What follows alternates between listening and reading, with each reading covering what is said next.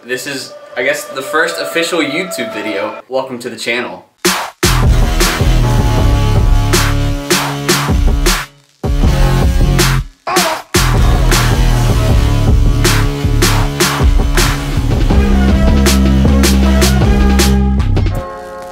So I thought for my first official YouTube video, it would be cool to do something outside of my um, outside of my comfort zone. So I made these frames. I made these back in September of 2020. There's five of these. I planned on stretching canvases over each one and then doing five different colored Sour Patch Kids, one, two, three, four, five. Like, and you could hang them in a row. It would be a set. But I think what I'm gonna do instead the canvas that I'm going to work with for this project is unprimed canvas. You see how it's kind of see-through? Which means the paint is going to soak into this. It's not going to lay, it's not going to lay on top of the canvas. Brush strip, it's going to be, it's going to be different, but I'm excited. I'm really excited. So, I got to stretch this canvas onto this frame and then we'll get to painting.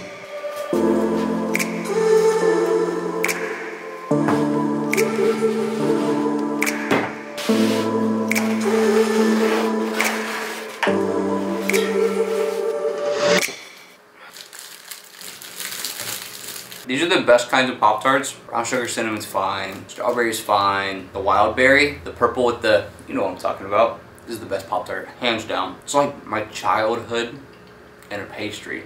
The next thing I have to do is take this canvas, wrap it around the frame, staple it, starting from the insides, working my way out to the corners. The corners are the worst. This is gonna be cool because a lot of people ask me like how to stretch a canvas. You're about to see the process. I, I enjoy stretching canvases sometimes. And sometimes I don't. You know, it's like sometimes you want to brush your teeth before you go to bed. You know you should, and you do, but you, sometimes you just don't want to. Stretching canvas is the same way.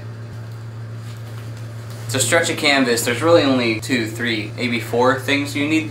You need staples, a staple gun, and canvas pliers. I use these sometimes.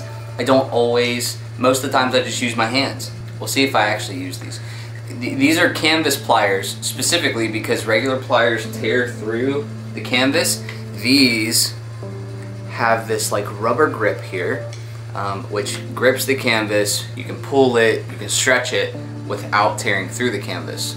You learn something new every day, kids. So like I mentioned before, we're starting from the middle of the canvas and then work our way out. So it's better if I show you than if I keep stumbling over my words.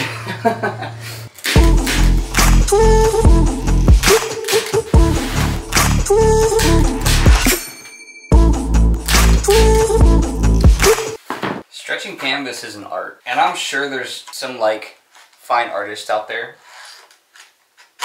who are freaking out about how loose my process is stretching this canvas, uh, but this is how I do it.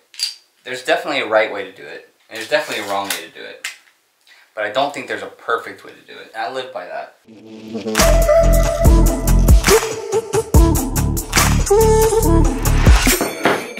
We're to the point where I'm close enough to the corners where I can bring you guys in and show you how I do the corners of the camp, which is the hardest part, but it's kind of low-key the funnest, so.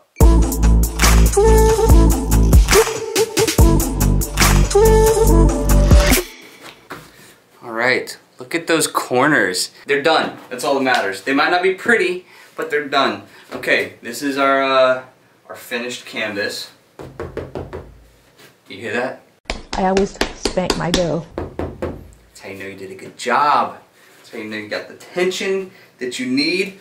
I think what I'm gonna do with this canvas is I'm gonna paint like a black base and then paint a portrait on top of it. I think that's what I'm gonna do. But that's gonna be a different day because I'm sleepy. It's 3 a.m. So good night. It's now day two of the unprimed canvas painting. What I plan to do tonight is to make a black outline base, whatever you want to call it, uh, on the canvas. I'm working at like the wee hours in the morning. That's when I'm getting inspired. So I'm gonna set the canvas up and we're gonna go for it.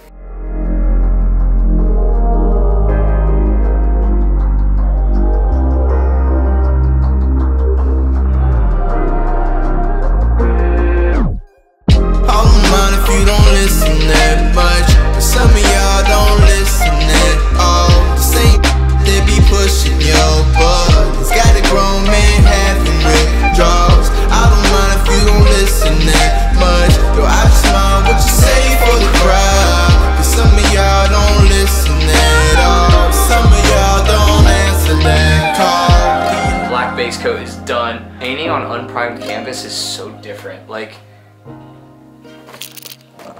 look, it kind of just sits on top of the canvas in places, but then it soaks in and like bleeds through other places. I really like the way these like whispers. I'm gonna call these guys whispers, like these right here. I like those kind of incorporated throughout, so we'll see how it turns out. I'm stoked.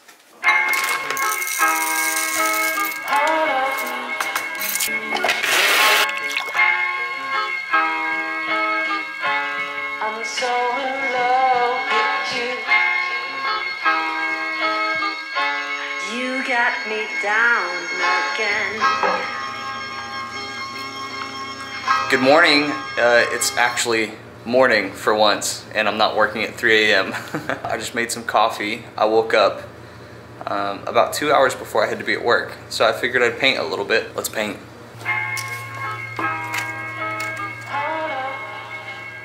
You see this this beautiful merch? There's paint on this one. I think it looks pretty dope. Paint scratches and whatnot. So this is actually going to be in my shop as well by the time this video goes up. Onto the painting.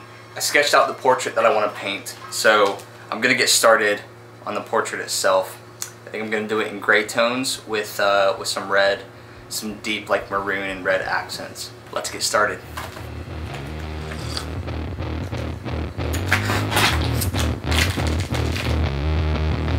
There's no there's no good place to put my coffee. Hold on.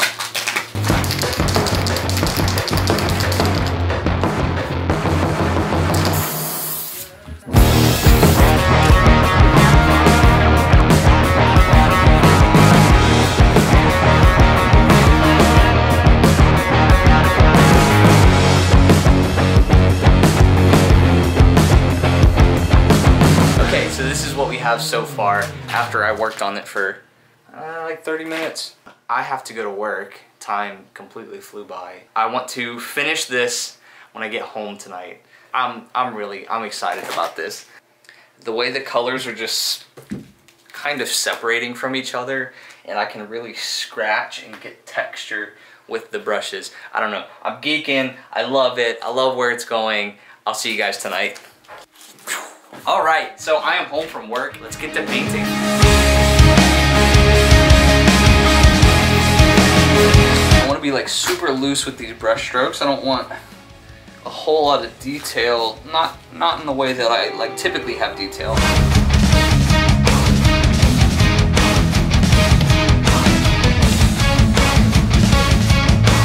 This is a complete side note, but I am I am absolutely in love with these brushes right here. I'm in love with these brushes.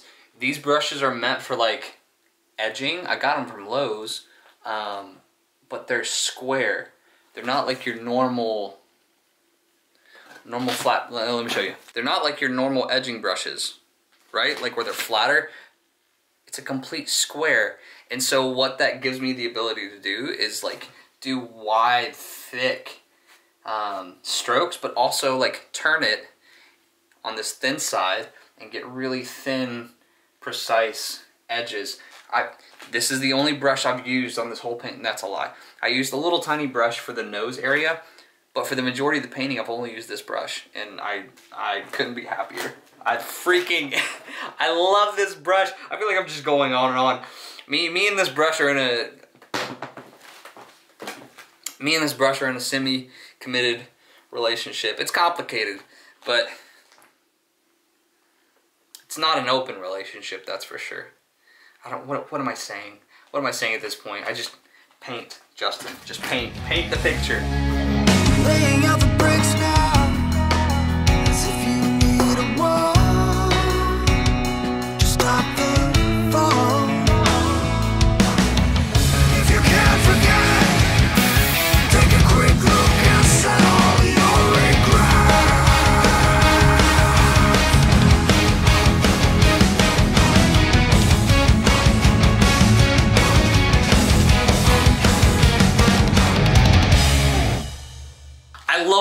Thing turned out.